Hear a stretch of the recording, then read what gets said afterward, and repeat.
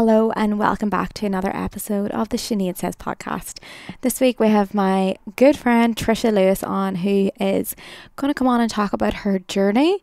Um, she's also known as Trisha's Transformations on Instagram. Trisha talks about her time at rock bottom in 2017 and how she has bounced back to get fit and healthy. She has now become a new business owner of her new business, Sharp by Trisha. She has two best selling books and she's just been doing so amazing and she's such an inspiration to talk to and her story is so moving. And yeah let us know what you think and we'll get right into it. But before we get into it we're going to talk about our sponsor betterhelp. You will notice that we talk about therapy a lot in this episode because both me and trisha are big advocates for therapy and um, in our journeys. And i hear i talk about the i'll be happy when syndrome. It's very it's a thing we talk about in meditate in the meditation teacher world. Um um it's about thinking about when you get all these things like when you get the weight loss or when you get the the job or when you get married you're going to be happy and you have this syndrome that like when you get these things you're going to be happy. Um and then with things like meditation and therapy you begin to like learn to love the moment and to understand you know, why are you like that and why are you searching validation outside of like your own self?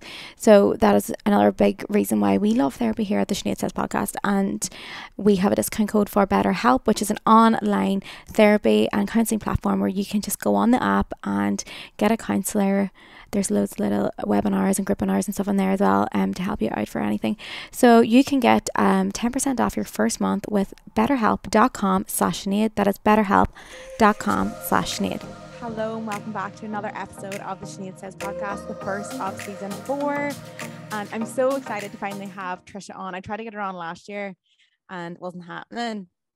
And she was like, give me, give, you were like, give me a few months. We'll, we'll talk about that later. But, um, and then now you were like, yes, I'm ready.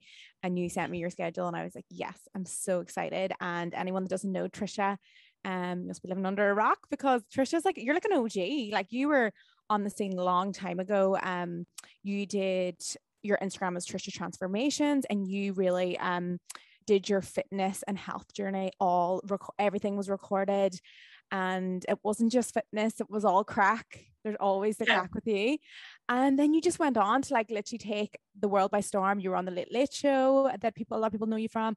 You wrote a book. Um, you have your own business now, Sharp. That's a I new know. one. Sharp by Trisha Lewis. It's very exciting. I know. I'm so excited because I'm getting my delivery this week and I'm like cooking flat out. So this is gonna be um this is gonna be good for me. So welcome to the show, Trisha. How are you?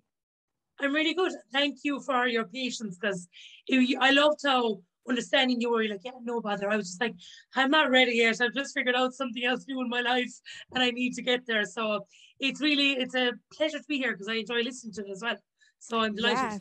So first I will just start off like a little bit about yourself. You know, I hate that question, but um, you know, to introduce yourself and like how you came to be where you are today, you know, how did Trisha transformations like really begin and um yeah, go for it.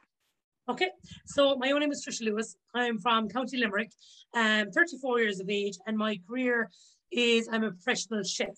So I suppose the reason why I Instagram came about was as all my life I've struggled with weight. I've since I remember I've been on a diet and been on a scales and you know it's really what I see now where kind of errors happened.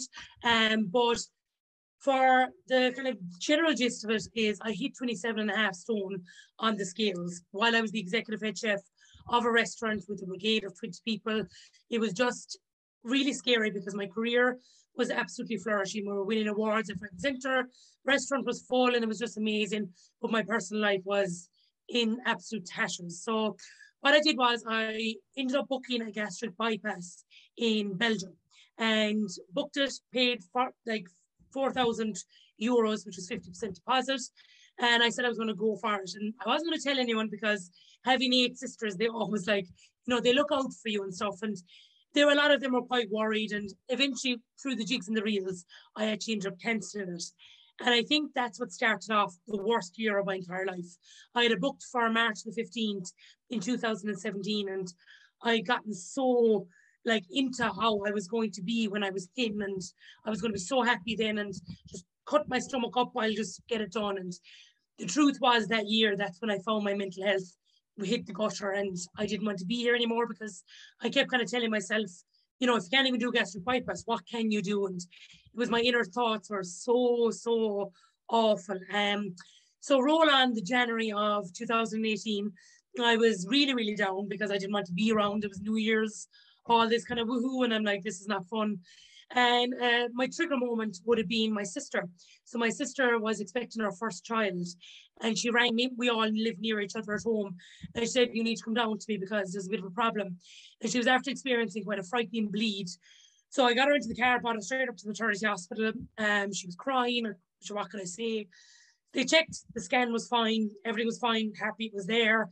And I remember it was the moment I heard Danny's heartbeat that my heart it nearly it nearly stopped because I was so sad.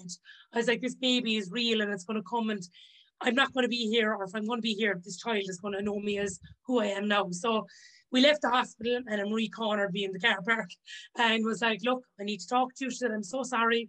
She said, I'm so stressed. I can't sleep. I can't eat. All I'm thinking of is you're going to go and my baby's not going to know you. She was like, when can we ever make you see who we see? So what I did was I blocked her for two weeks. I completely ignored her. I was like, I ghosted her. I was like, remove friend from Snapchat, everything because I couldn't handle it. I was like, leave me alone. And then she texted on February the 5th of 2018 and she said, It's the first Monday of February. Is there any way you can make this your month? Normally I'd reply, Sinead, and I'd like, Yeah, I'm on the way to Zumba. I just did CrossFit. I would join gyms to shut them up. I was like, Go away. And I texted back and I said, Honestly, I couldn't do it anymore. And I was so sorry and even to see the text message now, I, I, I don't, I know who it is, but I can't remember being in the mind frame to write that. I told them that they all needed to move on with their life, that I loved mom and the sisters very much, but I couldn't do this anymore. They had to stop worrying about me, that I was just leave it go. That was the day I changed my life. Within two hours, I joined the gym. I said, look, I'm going to just chance it and see what happens. And here I am, eight stone gone later two best-selling Irish books. I give up my career and now I have my own company and I'm chatting to the one and only Sinead Hegarty. So things happen and it's it was it was a hard journey, but by God, was it exactly the journey I wanted to do. Yeah, because sometimes you have to hit that rock bottom. And sometimes you are in denial. I don't know about you. I definitely was in denial in, in, in a session. And there was one moment for me when I just accepted it and I just said, I really need help. And do you think, like, up until that point, like you were sort of in your own little bit of denial, and then when you accepted it, and you, you know, obviously yours is different because someone told you, it's like, whoa, it's like yeah. more like it was, it probably triggered you into like defensive mode, like leave me alone, and that can be really hard. And like, but you know, sometimes people don't start the journey until they accept, hit rock bottom first of all, and then accept. So do you think like yeah, and you, I agree, and I think yeah. that you you said the word defensive, and I think that the most asked question I get is what do you do with somebody who might be in your position before? Mm-hmm. And the truth is, you're probably not going to get the answer you want. It's going to be a reaction, and it's not directed at you. It's from hurt inside. It's from being fat shamed. It's it's there's so many things that happen. But what I would say is a lot of times people like was that a kind of a light bulb moment. For me, every single waking hour for years before that was me hoping and dreaming that you know, tomorrow might be the day, tomorrow might be the day to change my life or something might happen. But for me, it was a build up of a lot of interventions, a lot of moments in my life where I just didn't feel good, like really bad. And then I just said, I'm going to chance. And I think with the cancelled gastric bypass, I felt like I had no other option. I was like, so what else can I do? So I ended up, I ended up kind of choosing my suffering. Number one, I was suffering as I was, and number two, I was suffering in the gym because I was like, what is this? I don't like it and I ended up loving it. But for me, it was it was uh, it was like death by a thousand cuts. That eventually something triggered. You literally took charge of your moment or of your life that moment, and you stepped into the gym. And yeah. how was that? Like, I feel like even anyone who's like been out of whack or in a rut, it just seems like so so scary. And yeah, like talk us through your moment when like when you went there and just began the process, I suppose. Yeah, it, it was because I remember after my sister, sister had sent that text, I was at home and it was that moment that I was like, because I'd said I'm turning 30 the next month. The only thing I've ever achieved in my life was to get fat. And that's all I could see my value as, which now I see, I look back and I'm like, you were running an amazing restaurant, you have an army of friends. Like there was so many other things, but I, that's all I could see. So I remember she texted me at about three o'clock and she said, Are you all right, Pet? And she had sent me a picture of baby lamb and she said, shut up, we're not listening to this is you. You're well able. New new months, all these kind of cringy things. And she's such a dote. I love her so much. Um, and I texted her back and I said, yeah, I've joined the gym.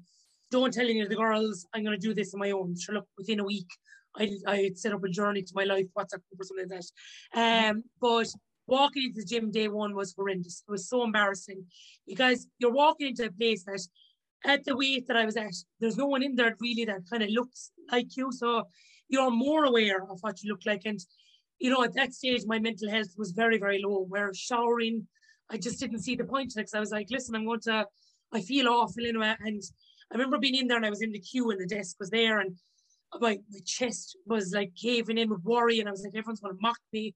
And no one will in the gym. That's the crazy part. But you, that's how I felt. And I remember there was a big hole underneath my cardigan, and a lady said, "Oh, sorry, there's a little rip." And I turned around and said, "Don't touch me!" And I kind of got very aggressive at her, which it wouldn't be what I want to be in life at all. I don't want to be aggressive, but it was just the feeling of another person touching my skin made me feel sick. And I remember I joined the gym, and I remember thinking, as you almost Emma was going through everything, I was like, "Well, I'm not coming back tomorrow." I'd made that decision there and then, and she said that she remembers asking me, "What are the three things you want to achieve from this 12 weeks? Is it a dress size? Is it weight loss?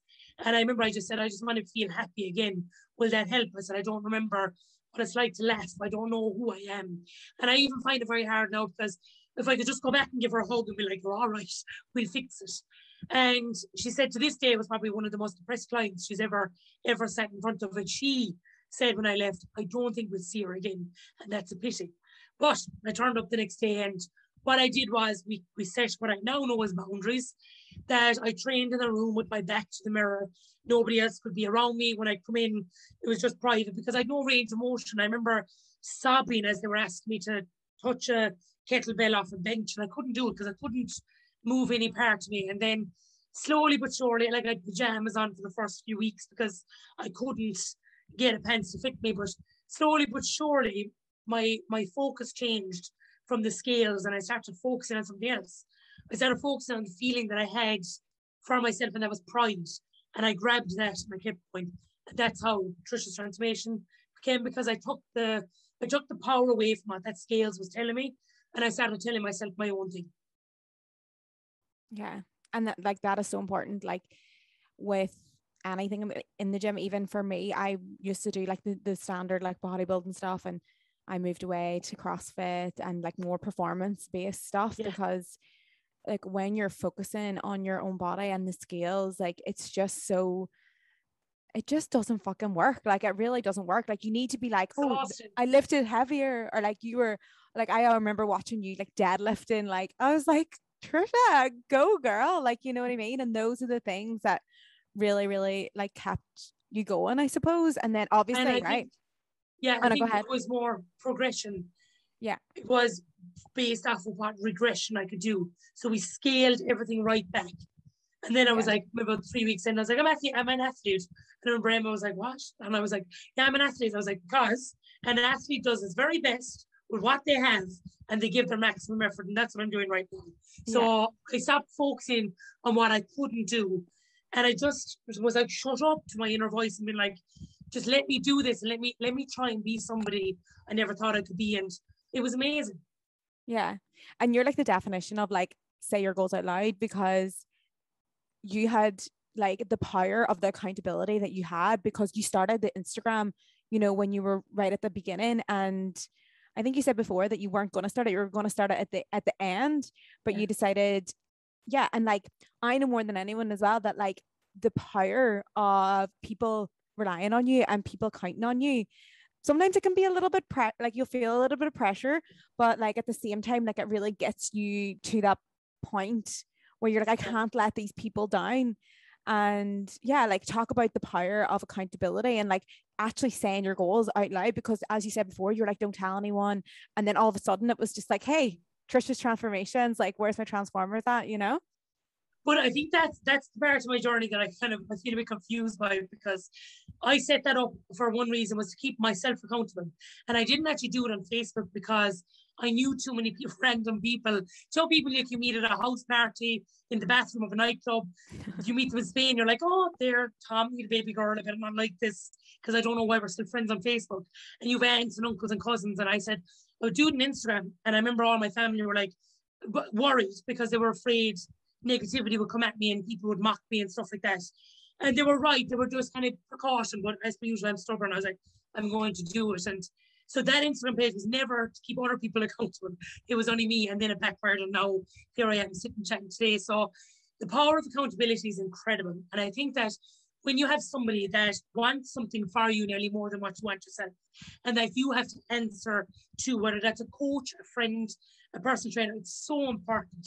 But what I would say is make sure you have a good boundary set that that person doesn't get so invested, it gets overwhelmed, and you're like, okay, now you're just being rude. like, I am actually just tired, I can't do the walk.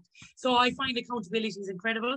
And I think that, like everything, it's a tool, it's not your be all and end all you're the person in charge would have that tool and even like your say your goals out loud i remember listening to that like you know I, I didn't get it. I was like what is she talking about? Like you know when you don't manifest or you don't meditate all of that seems so different to you. But it's the power of leaving yourself get the chance to learn. And if you learn it and you don't like it drop it. If you learn it and you love it excel it. So that's what i've been doing lately. Like you said you know, typical for weight loss, get up in the treadmill there for 30 minutes. Absolutely not. Give me the clean and snatch. Give me, I don't even know if that's the right word, that sounds wrong. Deadlift. Give me the presses. I want to perform and I want to push my body to places that I never thought Trisha Lewis at 27 and a half could.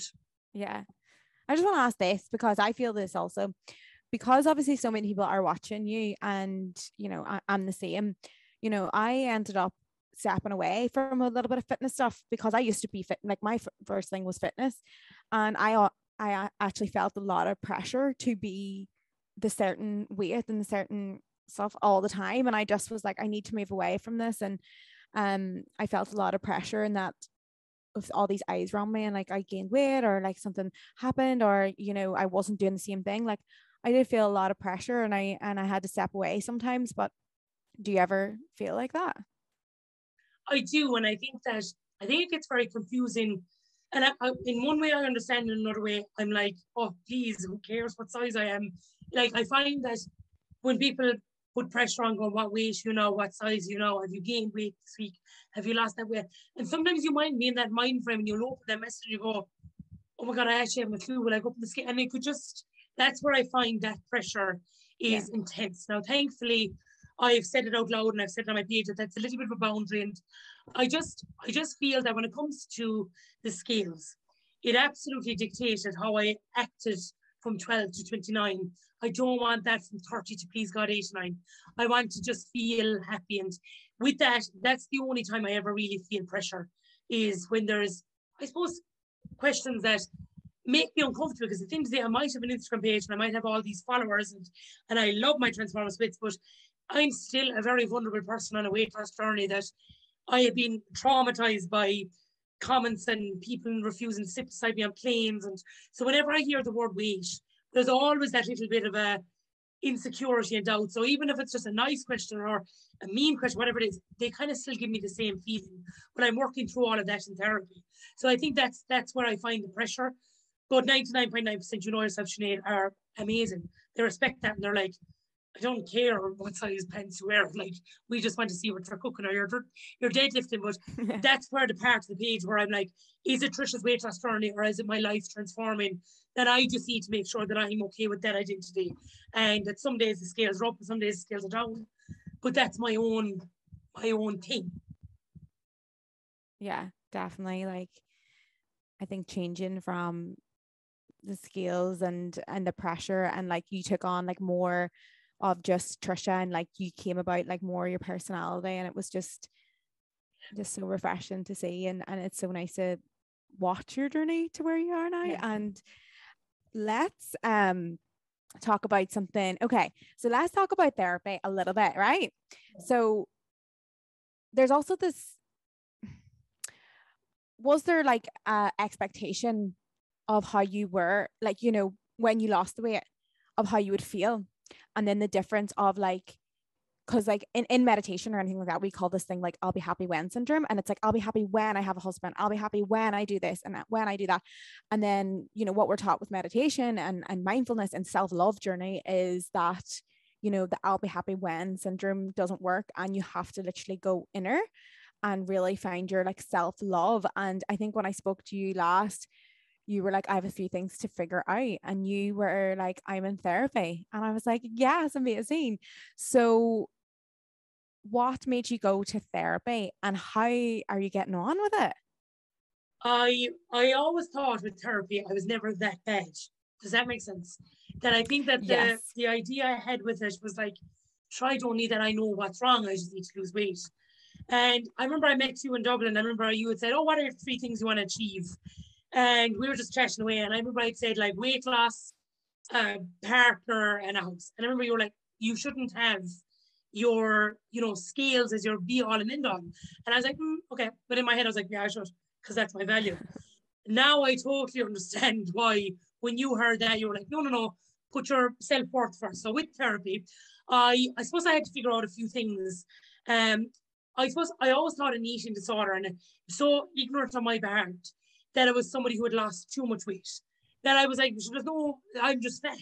Do you know, I didn't see, but what I figured out was I do have a binge eating disorder. And it's not based off of an addiction to food or anything, it's an addiction to negative feelings. So what I found out from therapy is number one, I had no boundaries, absolutely none. I would do everything for everybody, a disease to please. Yes, yes, yes. I had a gym booked to 10. You need me to do something 10 to 10. I'll cancel the gym because I want to be that person. And that is something that the more you people, it's not other people's fault, it's what you're doing. Um, I no boundaries. If someone asks me, you know, people are like on about like salary, you should never disclose, your salary. In those kind of things, I never have a boundary anyway. I'm like, I don't care. This is what I do. But in private life, I had no boundaries whatsoever. And I, had no self-worth. I'd let people and friends walk all over me and I didn't think any of those were connected to weight, but they were. So once I sat down with my therapist and she went through it and said, like, you know, it was a form of self-harm what you were doing. You know, if I felt lonely, I would eat. If I felt happy, I would eat. If I felt sad, I would eat. It was constantly associated with every emotion that I had. And even a simple thing like I don't think I've ever even said it out loud. One of my biggest downfalls is if I feel lonely, I'm going to go to a restaurant, I will overeat, but I'll spend the whole time on my phone. And I just remember my therapist like, this is something that happens a lot of people.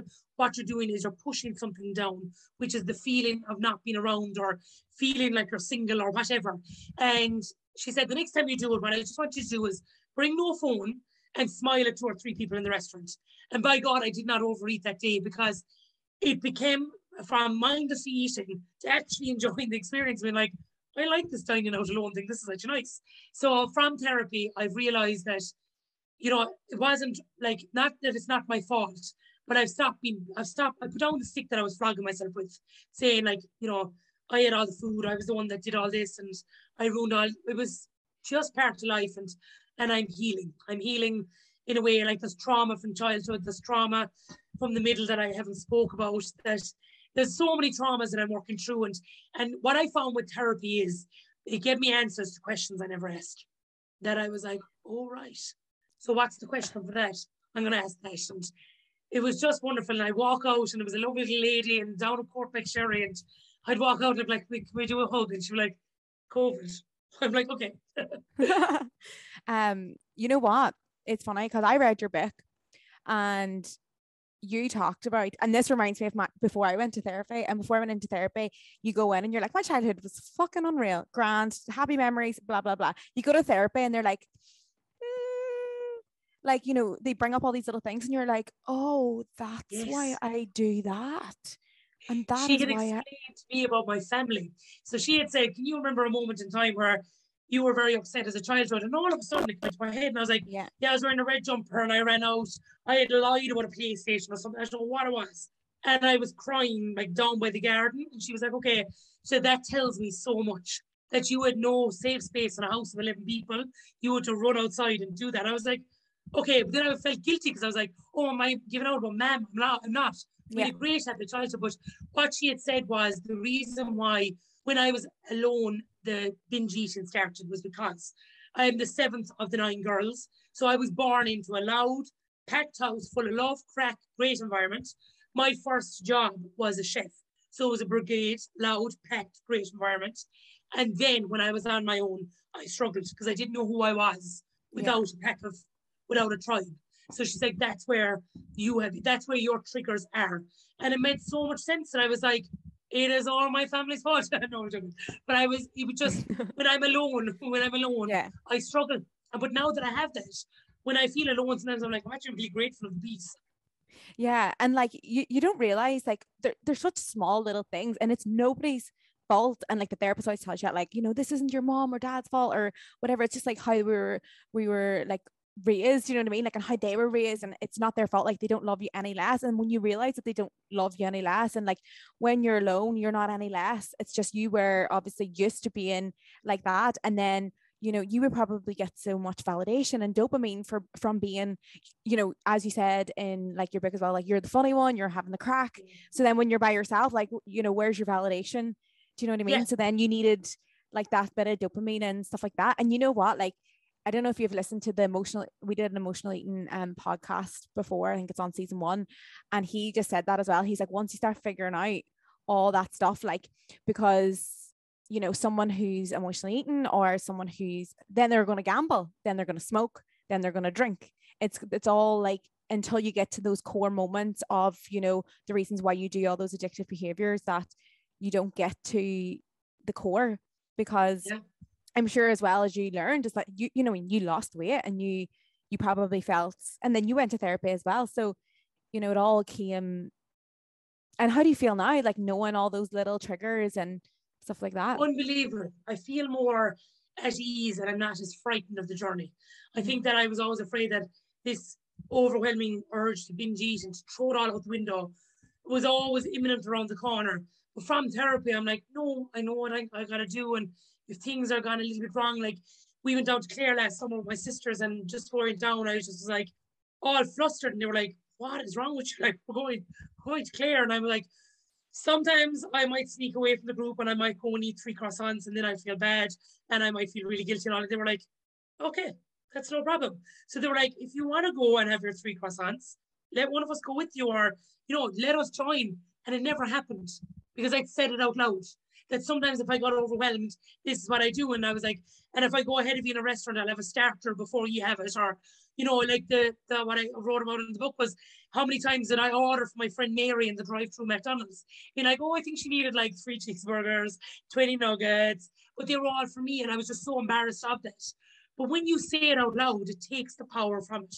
And that's what I found like 1 billion percent. I think therapy, if anyone's thinking about it, just chance it. Like I did it with a lady in Courtmacsherry, and then I did it with BetterHelp online um, over the pandemic. And I just, I just thought it was incredible. And I, I do think it's life changing for me. yeah I, I can see it as well and i'm and even when i was speaking to you that last time when you said and i was like i know she's just going to come out of this like a different fucking person and It's hard said- yeah what therapy's hard Sometimes they're like, oh, why am I crying? What have you done? i know And then I'm like, where did that come from? i know and do, do they do do like um ever do like meditations or like i suppose that's a psychotherapist and then that's it's it sort of changes but um have you ever heard of nlp No. Oh yeah, because I've done NLP on that stuff as well, like where you're like so relaxed and chilled in meditation, then it's like go back to the moments where you didn't feel enough or someone made you feel didn't feel enough, and you're like, oh, and you remember the clothes, you remember where you were, and you remember everything, and then you have to. This is when you do like, have you done inner child work? Yes. Oh my God, it's awful. But it's So brilliant. it's- It's yeah, brilliant. yeah, and then you have to go back to this like child or like where it, like it could even be in your adult years where something happened, and you have to go back and like be like, it's okay, and like Yeah. you're amazing because we really did internalize those little tiny things. Like you talked in your book as well about um being bullied. Yeah. And when you're that young and people are bullying you, you're not allowed into their circle. You don't feel good enough. When in fact it's nothing to do like with that. Like you were born enough, but Yeah. you w- internalize because you didn't have those skills when you were a kid to be like, oh, that person's just like that because they don't understand this and they don't know me as well as I know me. So yeah, how do you think like the bullying definitely affected, you know, who you were, who you are now, and how have you went back and really like reparented, or have you done Yes. that? Like went back and like reparented that bully It makes me so sad when I look back because the only thing that was ever be said was fat, overweight, pig, and all this. But when I see pictures of me at that age, I'm a whip of everything. Like I'm absolutely there is nothing. Not saying not looking at my body type being like, oh, you were it's like, but you know, I'm just a normal child. So it's amazing the power of what words can do and how I had internalized that, and that's who I actually became. So I remember the bullying. I always felt like it wasn't that bad that I could report it, let's say. But I remember one time we were going to the toilets and they'd gotten compasses and they wrote Trisha is fat and all over things. And I remember it was the only time I ever kind of opened up and I told my teacher and I said, like, that's in there. And I was bawling crying. I was about 10 years of age. And when I went in the next day, I thought like they're all going to be in trouble and things were going to be sorted. And I just went into the bathroom and was painted over. So nothing was ever said. So when I look back now, I can see that it wasn't my fault, but there was certain parts in it that I was let down.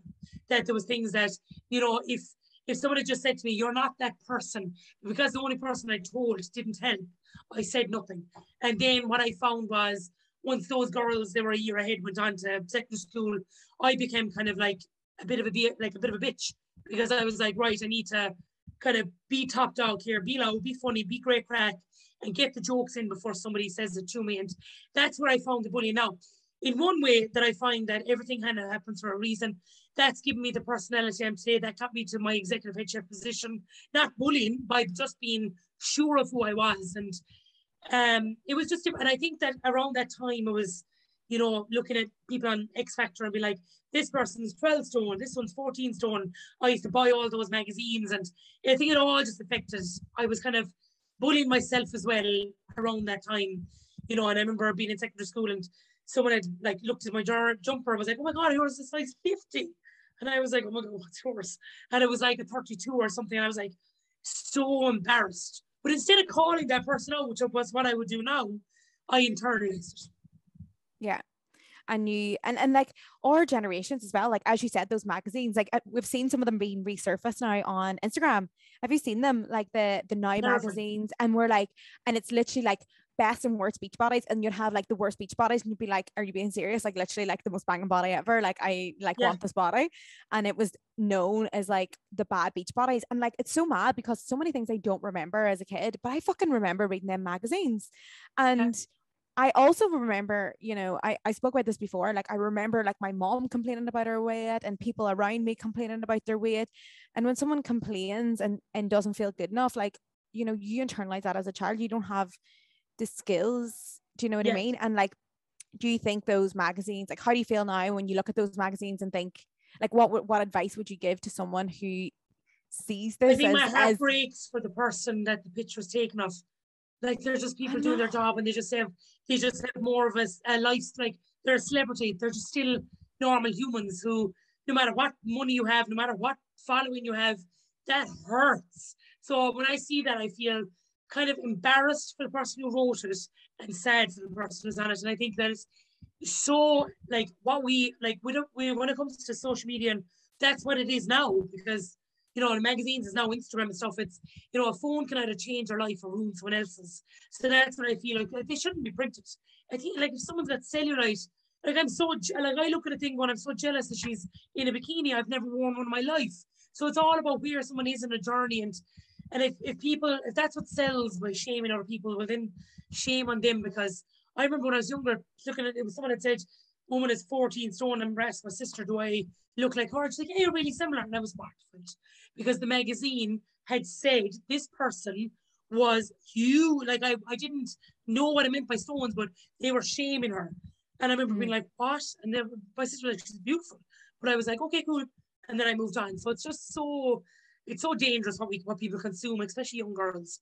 Yeah. And and do you think do you think the world is changing now? Do you think like I think it is, but I still think as a person in an overweight body, there is still a stigma and a shame about it. There is still people who will only look at people who have weight and use that as a weapon.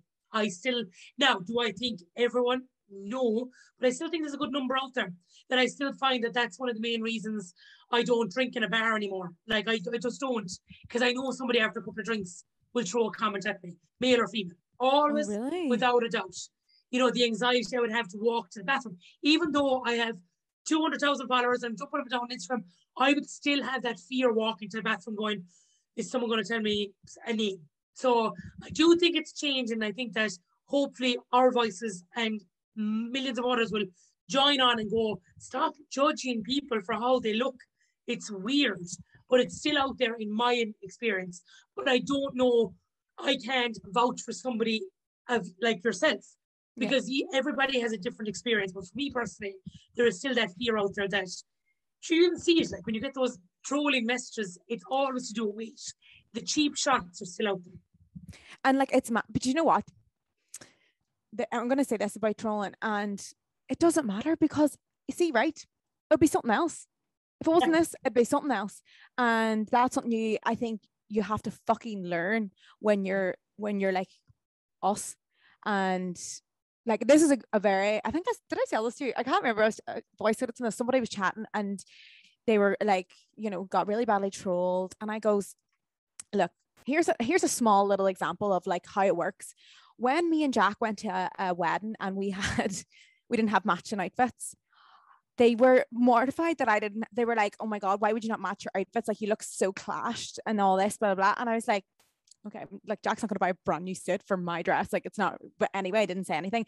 And then the next one, we were actually matching, and then yeah. they were like, "Oh my god, how cringy matching." So you could, and like it, it makes no sense. You can't win. Like if you're a doctor or a nurse they would be like, oh, you don't work hard enough. But like, if you're not a doctor, you'd be like, why are you not doing, you know, like it's just like constant, constant thing. And like, you know, especially, I don't know, is it, is it just Ireland? Do you think that's like this where I, I don't know. Like, I feel like we get a lot more trolled than like some of my friends in England or America. Yeah. So, um, yeah. What like, I find, and what I find is because I have a few friends who have, they're male and they've got high followings, they don't get it at all. No. Not and I was trying to Jerry Labs about this, and I was like, "Oh, how do you feel about?" It? And he was like, "I don't really get it." And I was like, "Um, what do you mean?" It is like women do get it more, but it's because like they don't realize that their internal things coming up, like that we're not supposed to be successful or we're not supposed to be this. Like, do you know what I mean? It's reform. Like they desire to.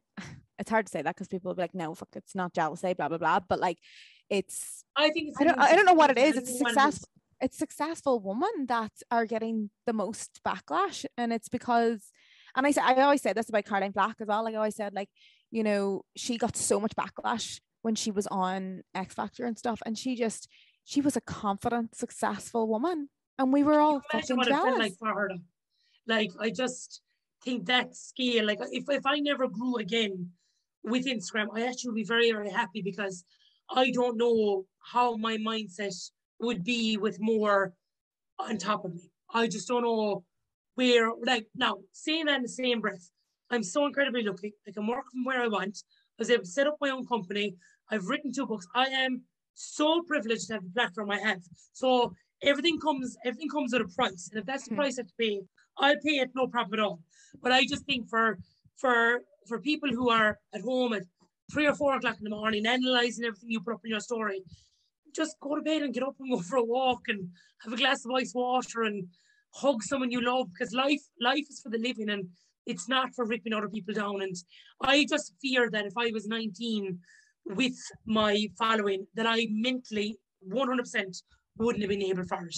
Maybe because I'm 34, I'm a little bit older, that I'm like, oh, going away, like, grand, do you think I'm fat?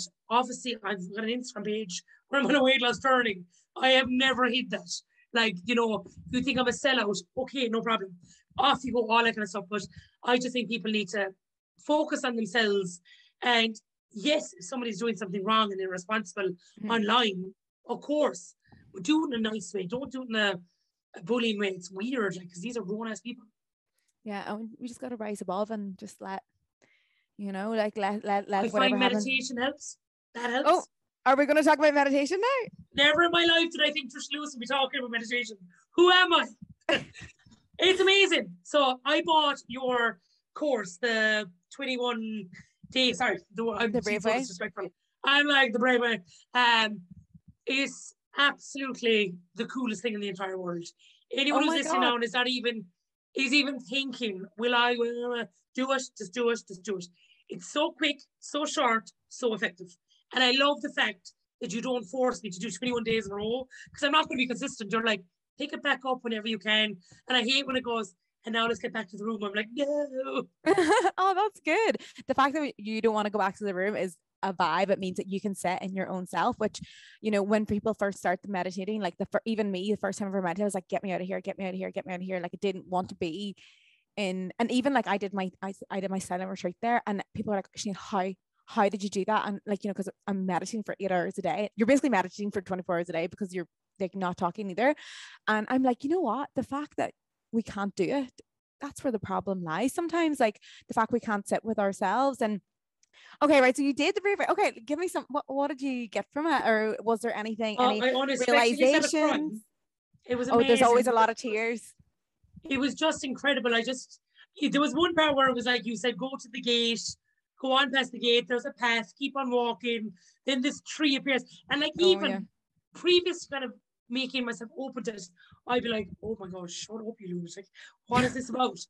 and then you're like, the person's going to be at the tree, and like that's the person who's your, it's your soul. Like, what was the It depends on what comes up for you. Like, you know, sometimes you can take people on a journey and when they're so relaxed, their subconscious and their spirit guide comes up. Sometimes I, I, guide? yeah, yeah. So I remember when I was walking down the path and you were So guiding you me through my spirit guide. Amazing. Yeah, and I was like, okay, this better be a handsome man, wants to marry me. And I was like trying to manifest it. And then I just burst out crying because it was my nana that had passed Mhm. away. And I was like, oh, and it felt so real. And it just felt, it was amazing. Like, I just think that meditation for me is like a little mental reset where whenever I'm getting flustered and I have no clarity, then I just stick on the headphones for 15 minutes and I'm like, okay, just go. The first two or three minutes is very difficult. Yeah. And then I find it's grand. I'm like, so I personally think yours is absolutely class. Thank you. You've just given me like a little. Rings. uh, oh yeah, you're wearing my ring. We're all ringed out. obsessed with them.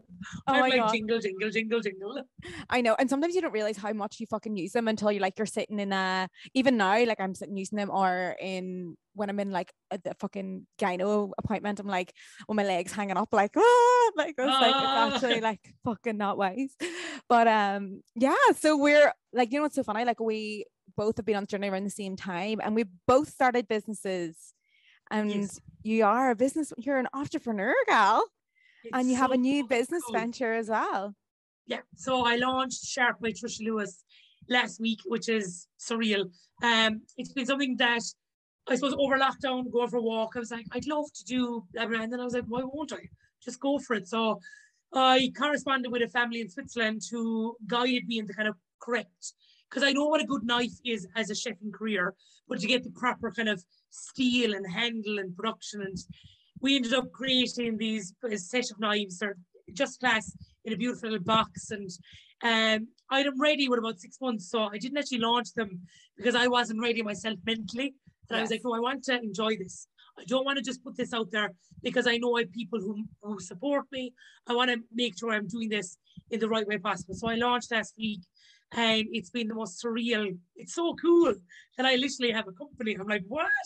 It's it's amazing that how my my journey has came from, you know, being overweight, working in a restaurant, to now being the happiest I've ever been, being the fittest I've ever been, and also owning my own company, which is with the coolest set of knives you'll ever get in your entire life. there is something so cool about like having your own company like it's even even like when you haven't even made any money yet and you've just like set it up and you're like whoa this is like so so cool and the th- thing about your company as well so aligned with you and I feel like when people are always asking me, you know, oh, Sinead, well, you've got meditation and you've got this and blah, blah, blah. I'm like, yeah, but you don't understand like how many niches there is to have your own company. Like there's so many different things that you align with and like for you to bring out your own knives like that's so aligned with you and like what advice would you give to someone who's like even things like baking like when someone like makes bakes and then like starts up their own company or something so small like you know in your even in your local town you see people setting up their own company it's just so it's so heart it's so heartwarming as well. And yeah so what advice would you give to someone like setting up a company because people are so int- and um, intimidated by setting up a company going into the accountant going in and setting up all this stuff. And i always say wing it but well first of all what's what what's your advice because it's, it is daunting like hey let's go set up a company isn't it Yeah, it's terrifying. I hadn't a clue. I had a clue. I've always been paid by a person who owns a company. I've never, I've never in my life had to know what you know farms and stuff like that. So what I'd say probably the best advice is wing it, but also get an incredibly good accountant that mm-hmm. just says, here is what you need. And what I find, I have an amazing accountant, Stephanie in Galway, and she's the same accountant for Brian Keane. He referred me to her. He was like, she is just so good. What I found was in all scenarios of life is communication is key.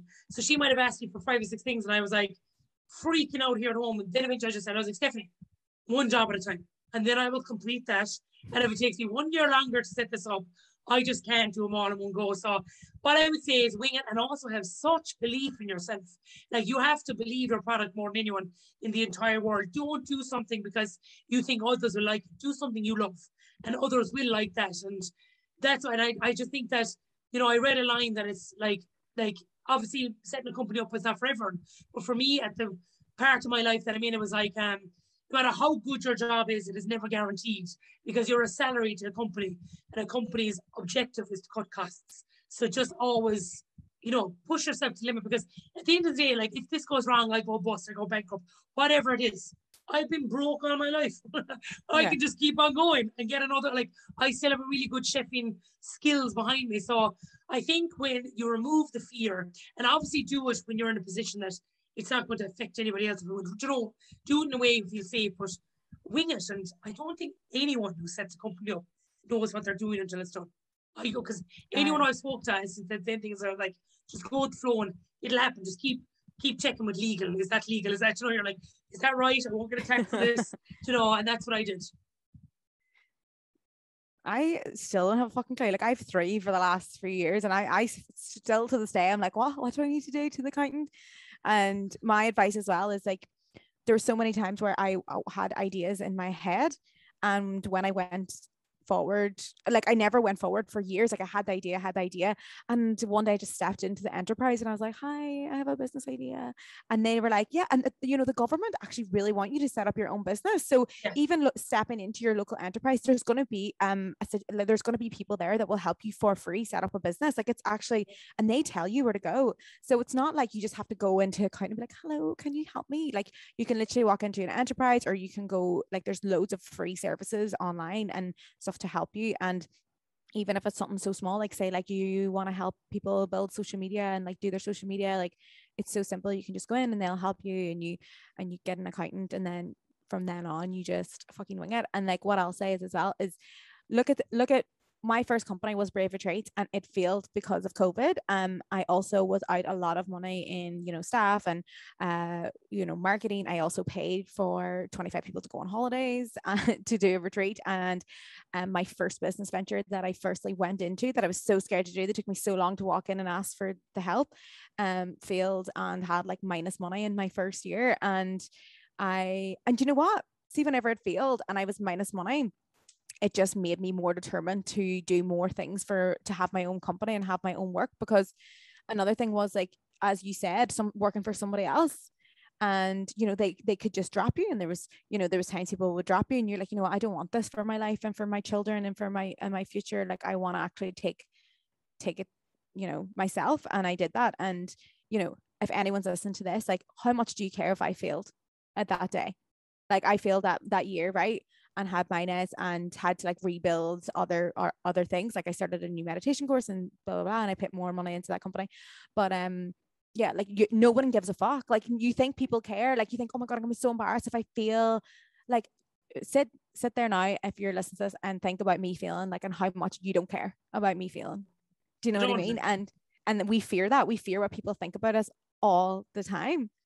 You know what I mean? And we feel like we have to be successful for it to be a good move, but not at all. Like failure is feedback. It just gives you another idea of like, you know, what can I do next? And I think that what will stop me for years, but like it's already been done. But there hasn't been an original idea in about a thousand years. Just do what you love and go for it. You know, and it's just I think it's it's the most fun and also scary thing I've done in a long time. It's you know what doesn't challenge you doesn't change you. You have to keep on going yes, you're full, you're full of it today. Failure is feedback and Telling doesn't tell you. I know you're full of life today. And so you've just started the night. You're you've got two books out now. You you're fucking flying doll. Like you're literally like an inspiration to everyone. And you know, you've come such a long way from when I first I can't even remember when I first saw it. So it must have been 2018. It would have been no, it would have been 2019. I think we kind of corresponded because I, I knew Siobhan with ages because Siobhan was actually, fun fact, first person who ever gave me a shout out. So oh. Siobhan put me and I was like, oh, H Fitness just shared. And I was like, I don't know what this oh, is. Because I had, it was incredible. So from there, she'd been so supportive. And then I think she shared me again, and then you popped over and I was like, who the hell are you? I was like, I know you, you don't know me, I love you. so you're definitely, we're definitely chatting with about three years, which is amazing. Wow. And so what is next for Trisha? So um, I'm going to continue on with my weight loss journey because at the end of the day, I want to be the healthiest and happiest I've ever been. And I don't want to add years on to the end of my life. I want to have quality years now. So it's all about enjoying the journey and not focusing really on the destination. Um, I want to continue on being happy. I want to continue on, like I think a lot of times I always focus on what was from the neck down. I want to look at what's in my mind. Is my mind happy? Is my mind healthy? Because everything else follows after that. I find that when that's at its best, everything else is benefiting. My friends, my family, the crack, the banter, the cooking, everything is all working. So I want to continue on using the resource of therapy if I need it. I want to build my business up. I want to launch more knives. I want to do way more in the space. And I, I mean, and please God, at some stage, get into schools and get into people and just be like, look, stop this bullying, stop this, you know, mocking people because they're not this size or they don't look like the filter on Instagram. At the end of the day, a phone can change your life or ruin someone else's. Make that decision. And I think I just want to keep on chatting because what I found in a world I thought I was so alone, there was thousands who felt exactly the same and they were my transformers. So continuing on having to crack with them and and just living life. I'm so happy, Sinead. I never thought I would say that and genuinely mean it. And it is the truth. Oh my god, I'm like a wee bit emotional or something because you I don't know, you just have like a big smile on your face and like um I'm just really happy for you. Thank you. Hey, and I think that's why am I so emotional? It's the hormones. Oh my god. I know, I know. And I and I'm I, I'm so grateful of things like this because if I'd have went back four years ago and said to Trish, right, Sinead Hegarty, who is so cool, is, is like, you know, a person you follow online is going to have you on your podcast about your weight loss journey. I honestly would have felt like someone was mocking me. So it's these little things. They're not the big moments like going to cook-alongs and doing these events and corporate talks and stuff. It's these moments when I finish this that I go, yes. Yeah, I'm gonna. I want to. I want to change something here. I want to say, being on here for your weight loss journey, I want to change that because it's not. That's not why you're here. You're here for your inspirational journey. Thank and you. I want you. I want you to stop. I feel like I want you to stop saying that. That's my advice to you. I want you to say, my inspirational journey. Like you're here to inspire people because where you were like when even when you read your book or you hear about your story and you know all those times where you had like really really really rock bottom times and like from there to where you are is so inspiring because you never gave up and you kept going and you're working on your mind you know so i think you should stop with the saying it's your weight loss journey. No, you're probably the third person that said to me that in the last few weeks, even. Yeah, because that's you've stuck that to your identity a little bit. A little bit, and I think that I'm afraid of leaving that go because I'm like, but I've always been weight, whether it's losing it or gaining it, and I think that I do need to let that go. Um, but it's so frightening. But I'll get there. Maybe episode two, I'm like, I need to talk. And I found even another girl on Instagram just said, take her weight out of the bio. That's weird. She was like, you that is yeah. not who you are. So I don't follow you to know that you're 18.73 stone. She's like, that's weird. She was like, I follow you for you. And I was like, oh, that makes total sense. Because it would be weird if your weight was in your bio. But I feel yeah. like I have to put it up there for others. And and I think to say the number of my scales will never, ever, ever have the power of my happiness again. No way. That is just yeah. the rule that I'm making. And like this is your happiness journey. Like this is your like I think you you you've like and, and like I said this as well, my identity podcast about when I met someone and they were like saying there, oh well, I'm just a fat person at camp or whatever. And I was like, change that right now because every single day you get up and be your best and the best that you can be in that day. And I'm like, that's who you are. You're the person that's like going for every single day. And like you're so much more than that, Trisha. Like you're so you know inspirational to young women like and you have the confidence you can come online and you can share everything and like you know you're an entrepreneur now and you have two fucking books there is so much fucking more to you and i feel like i feel like I yeah this is this is your inspirational journey okay yeah and I think I need, to, I need to start stop. I need to stop worrying about other people with that because at the end of the day, it is about resilience. It's about recession It's about things going wrong, and I think that when it comes to weight loss journeys, there's no room for failure. If you see and they're like, oh, should we have that, etc., leave all them go. All those kind of identities go. At the end of the day, I get up every day. I do my best to be a good sister, like friend, auntie, godmother, and that's all I can do. You just can be your best, and that's what I'm slowly realizing. That you know, my sister said to me that day, "When are you ever going to see who we see?" And I think I finally do. That I'm like, okay, I get it. I'm going to stop self harming in the way that I am with food, and I'm going to put myself first, and that's what I'm doing. Okay, right. I haven't I haven't asked this question in a long time on the podcast, but since we're talking about this, you said, um, what do you I feel like I finally feel like that. So can you please tell me two things that you love about yourself? Yeah. Um my legs. I'm very sorry, is this personality to your body because you're like what's going on here um I think that I love I love my legs because they don't they're they're they're fine pair legs but the most important thing is I think I love my personality. I think I know I know who I am. I know that I'm not a bad person. I know that I probably have made mistakes in the past, but I've learned from them and that I know that I'm kind. So I, I love my I love my personality and and I think I just love myself. Does that is that a good answer? I love it. Because I didn't want to pick my legs there because then in my head I was like, am I just dissing my stomach and I'm seeing this as a problem? I love every part of me. I'm able to get up every single day and I'm so lucky that yeah, I might have bingo wings, I might have extra skin, Stop but it. I'm still able to do a burpee. That doesn't define me. so like I'm very grateful for the body that I'm in right now. And I know my body will change.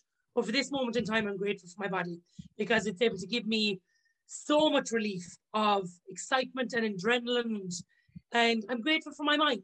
So they're the two, my body and my mind.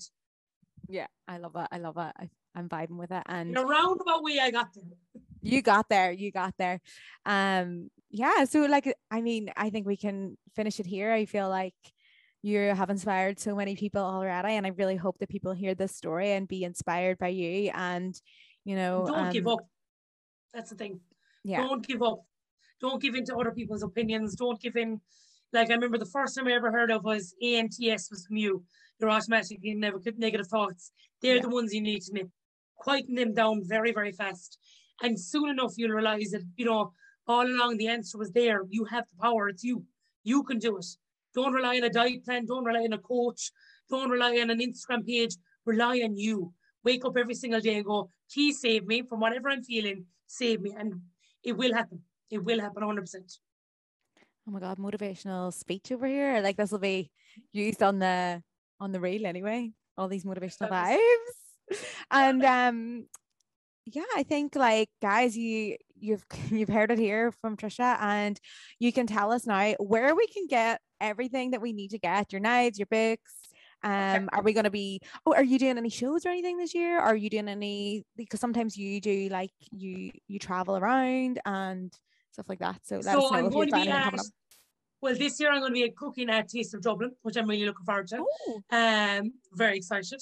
Ooh. I will be at the Ploughing Championships with Aldi because I'm a brand ambassador of Aldi. Yeah. And it was funny because I think I was like, this is the lamest and the coolest thing I've ever done. so I was, it was Lanzarote for the week was on, and then Aldi were like chatting away to me, and I was like, oh my god, I'm in Lanzarote, I'm going to miss the Ploughing match because I'm such, I'm such a country culture. So then yeah. they were like, no problem, like we'll catch you for another event because they're brilliant to me. And then I just emailed, I was like, hello.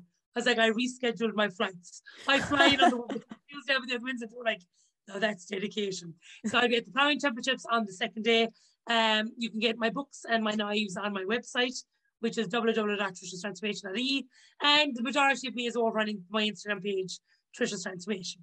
Amazing. And it's amazing to have you on and sharing your journey and being so vulnerable with us. And yeah, guys, and thank you so much for listening to today's podcast. And I hope you got so much from it.